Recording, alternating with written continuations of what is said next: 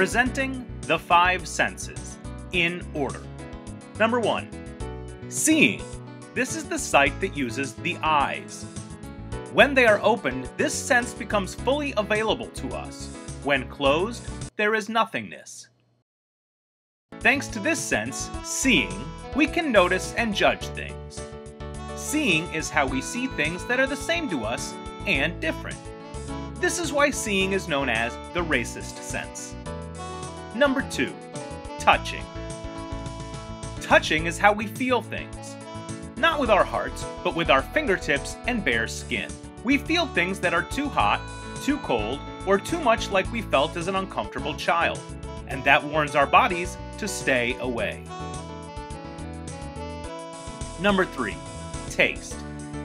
Taste is the touching for your mouth. This sense can be deceiving, however, as not everything should be tasted. But when it is, it can be delicious. It's really hot, guys.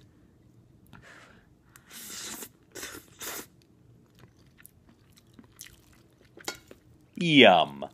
Number 4. Smell. Almost nothing is known about smell. Number 5.